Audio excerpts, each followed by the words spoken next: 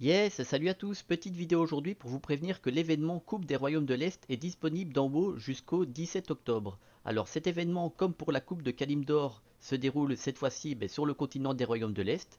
Il y a des nouveaux faits à récupérer ainsi que le titre Pilote des Royaumes de l'Est. Et il y a aussi des nouveaux manuscrits si jamais vous aviez déjà tout acheté durant l'événement Coupe de Kalimdor. Je vais vous montrer ça tout de suite. Donc l'emplacement des PNJ est le même que pour la coupe de Kalimdor, ils sont revenus au même endroit, ils avaient disparu entre temps. Donc le seigneur Andestraz, il est aux coordonnées 2747 à Valdraken. Sur la carte, c'est juste ici, à côté de la tribune de transformation.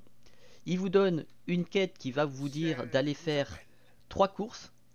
En la rendant, vous allez recevoir 10 insignes des chevaucheurs d'Azeroth, la monnaie pour acheter les différentes récompenses. À côté de lui se trouve le PNJ Masta, à qui vous pouvez acheter la transmo ainsi que les différents manuscrits. J'ai déjà la transmo, j'ai déjà une partie des manuscrits, du coup, il n'y a que les objets qui me manquent qui sont affichés. Et comme j'avais tout acheté la dernière fois, là vous avez les 4 nouveaux manuscrits pour le euh, Glisdrake Méandrique.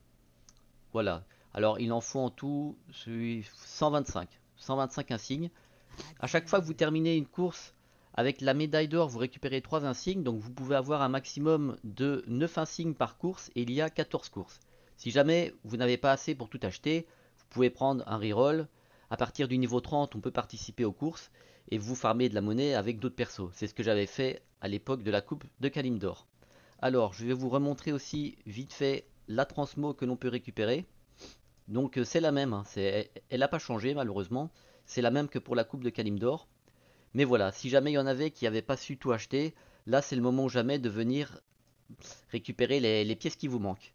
Alors je vais passer sur un perso qui est en train de faire des courses dans les royaumes de l'Est pour vous montrer vite fait.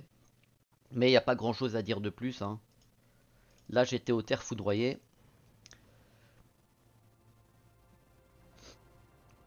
C'est toujours bien parce que ça fait des hauts faits euh, faciles on va dire. Il y a je crois en tout 12 hauts faits à récupérer un petit titre. On va, on, va pas cracher dessus. Donc là, j'étais en train de faire la course des terres foudroyées. Et vous voyez, il y en a, euh, un peu partout. Hein. La prochaine que je dois faire pour la quête, c'est ici apparemment. Dans les hautes terres du crépuscule.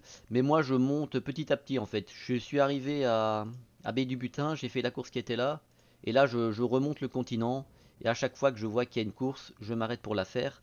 Je crois que la prochaine que je dois faire, c'est dans le défilé de Deuil-Vent, si je ne dis pas de bêtises. Voilà, à Karazhan, il y a une course. Donc voilà, euh, dépêchez-vous, il n'y a que deux semaines d'événements.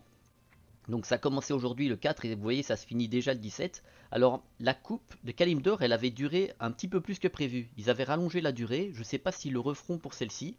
Mais en tout cas voilà, deux semaines, bon c'est assez, hein, mais voilà, je préfère vous le dire. N'oubliez pas de le faire.